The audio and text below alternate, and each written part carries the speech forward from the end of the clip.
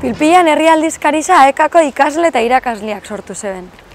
Mila beratzeron dalaro eta maseiko urtarria zan lehengo alia kaleratu zanean.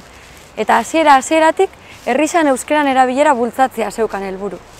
Hasierako aleko agurrian hola xea itxatzen zeban.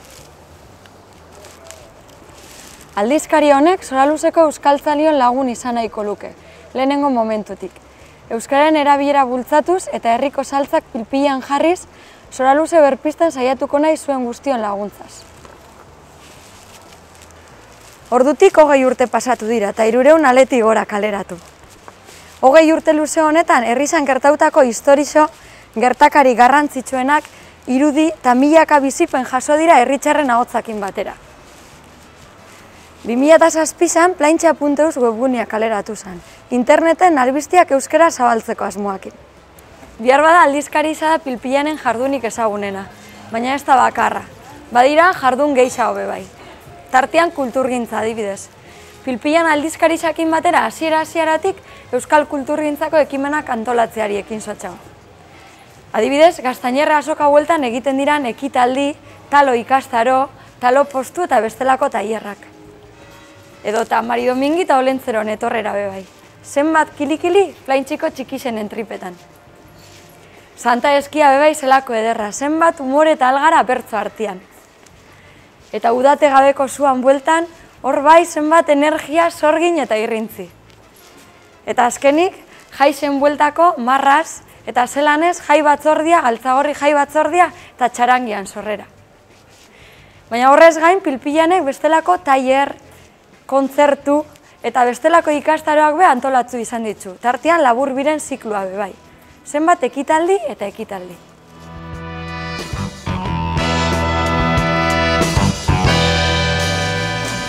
Aurreta gaztien eizialdiza da pilpilanek landu daen beste arlo nagusi zenetako bat.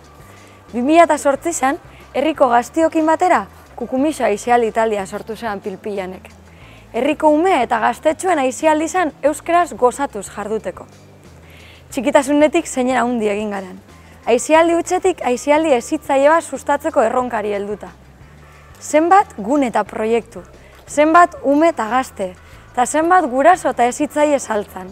Baina bat ez be, zenbat jolas eta bizipen, eta danak euskeraz. Ah, eta kantu bat be badaukagu, eh? Entzun eta ikusi.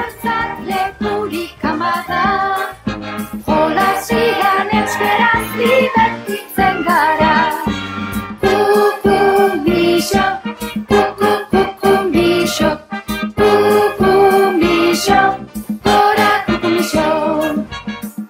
Herritxarren artean euskeran erabilera eta euskararekiko sensibilizazioa lantzeko egitasmoa be bultzatu dira elkartetik.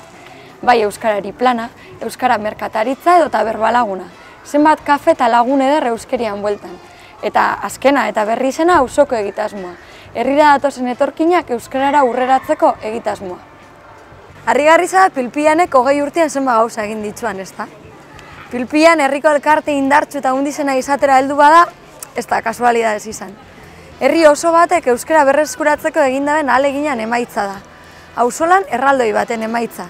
Eta noski bertan parte hartzen duten herritxarren herriko elkarte, komertzio, enpresa eta udalan aleginan emaitza. Adituek dinue bide gurutze baten garela. Badagoala bide bat euskeria kontu folkloriko utz bihurtzera eruango leukena. Eta badagoala beste bide bat euskeriari gure bizen moduan gero eta funtzino gehiago motera eruango leukena. Eta guk dinogu etorkizuna gure esku dagoela. Gure auzolan esku, zure ilusioan esku. Eta danon auzolan eta ilusioa biharko dugu euskeria gero eta indartzoa izan dugu. Eta gogoratu, zora luze zurekin gero eta euskaldun haua. Egin daigun pausa bat aurrera.